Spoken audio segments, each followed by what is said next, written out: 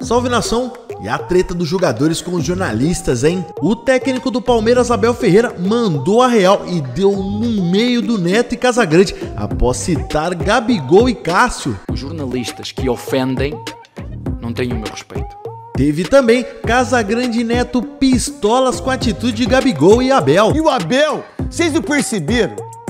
Que o Abel, cara. Fica aí até o final do vídeo que você vai ver isso tudo com todos os detalhes. Após o jogo do Palmeiras, Abel mandou a real e deu no meio dos comentaristas, mandando o recado a Casa Grande Neto. Se liga aí, ó. Eu chutei um microfone, parece que matei alguém.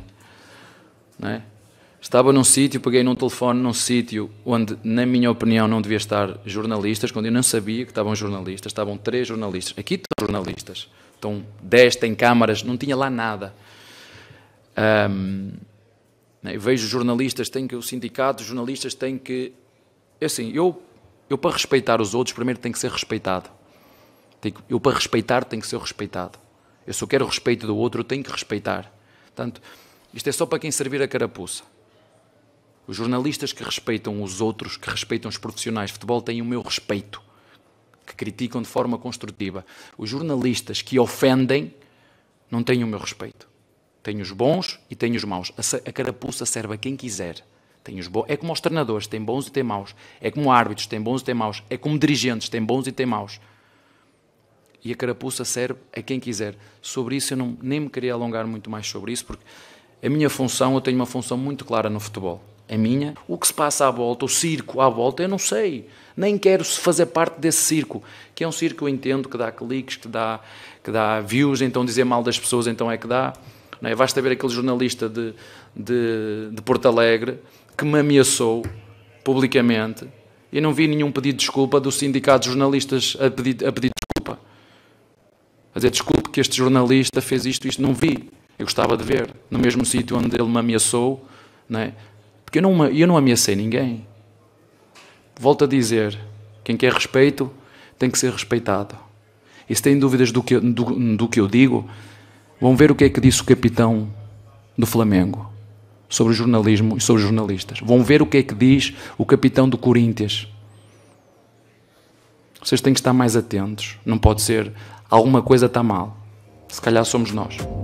As atitudes de Cássio Gabigol, que Abel estava se referindo durante a entrevista coletiva, foram respostas após perguntas na semana passada, onde Gabigol e Cássio chegaram até a discutir com jornalistas. E também que vocês pudessem explicar aquele gesto lá, que a é, TV eu vou falar do gesto. Eu estou cansado de criar polêmica em várias situações, estou sempre querendo criar polêmica. Você usa meu timão, meu timão é em prol do clube tenta ajudar o clube, porque às vezes você atrapa. É, mas eu vi um negócio, é sempre polêmica, sempre tu querer fazer uma polêmica, tu principalmente quer sempre fazer uma polêmica, cara. Sempre, fazer uma, sempre fui respeitoso com vocês, sempre coisa assim, pode respeito, faltar respeito, faltar respeito com a torcida do Corinthians. eu, a, TV, a TV da transmissão eu mostrou, faltar, por isso que a gente tá Mas vocês não postaram nada que eu faltei com respeito com a torcida, né? Ou postaram? Não tô nem ali, tô Ah, sabendo. não sabe o que acontece no, no teu não, site? Não, não, eu tô aqui trabalhando, eu não sei o que foi postado lá. Cara. É. Por isso que eu tô te perguntando. É, vocês, cara, de maneira nenhuma, o dia que eu, que eu faltar com respeito do torcedor do Corinthians, eu tenho que ir embora. Porque daí faltou respeito. E assim, com vocês comigo. Acho que tem que ter mais respeito.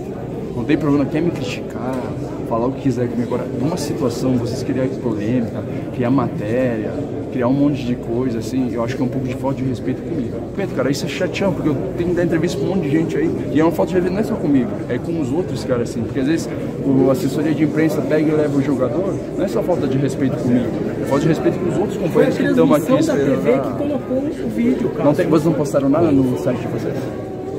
Eu não sei, eu tô trabalhando aqui, Cássio, eu nem... Nunca sabe nada, né? Ô, Cássio, Não concordo.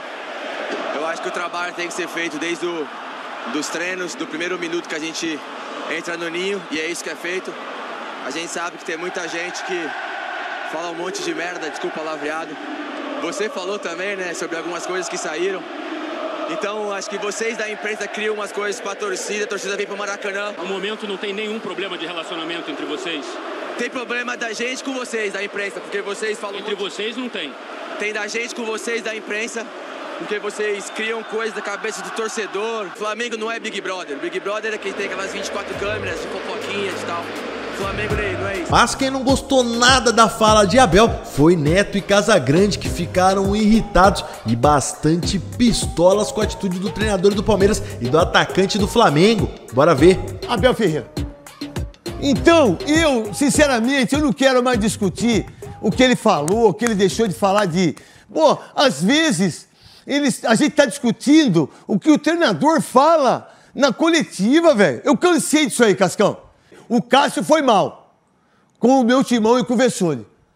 Porque o meu timão não é do Corinthians. Que não pode é todo momento é o Palmeiras deixar de falar de futebol e o Abel. Vocês não perceberam que o Abel é um cara inteligentíssimo?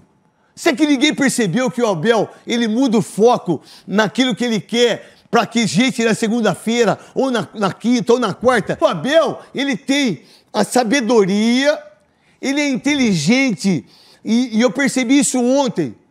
Né? Ele falando do Cássio, ele falando do Gabigol, ele falando da imprensa. Ele, eu não posso usar essa palavra, mas ele deita e rola em cima da cabeça da gente ele pauta os programas, ele pauta tudo o que ele quer. Sabe que vocês não perceberam isso? Em sua coluna no UOL, Casagrande já tinha criticado a atitude de Gabigol o comentarista tinha falado que vê oportunismo após Gabigol dizer que Eric Faria tinha falado muita merda antes do jogo contra o Fluminense. Casagrande disse que Gabigol tinha que falar na hora e não apenas no momento favorável para tentar ridicularizar o Eric Faria ao vivo. E aí, nação, o que, que vocês estão achando de toda essa treta, hein? O Gabigol deu aquela tretada com o Eric Faria e por coincidência, Cássio já tinha batido boca com o repórter do meu timão, que chegou a questionar se ele estava em prol do Corinthians ou não. O que, que vocês acham sobre tudo isso, hein? O jornalista tem o direito de questionar o atleta ou vocês estão com o jogador? Tá tudo muito chato, os jornalistas estão vendo problema em tudo. Bora botar fogo na discussão, eu tô bem curioso para saber o que você acha através dos comentários aqui embaixo desse vídeo. Tamo com quem nessa? O Abel tá certo em criticar os jornalistas e exaltar o Cássio Gabigol? Ou vocês acham que os jogadores estão muito irritados? Eu quero saber da tua opinião, mas antes de você comentar, não esqueça de se inscrever no nosso canal, hein? Ativar o sininho e deixar bastante like nesse vídeo. Valeu, até a próxima!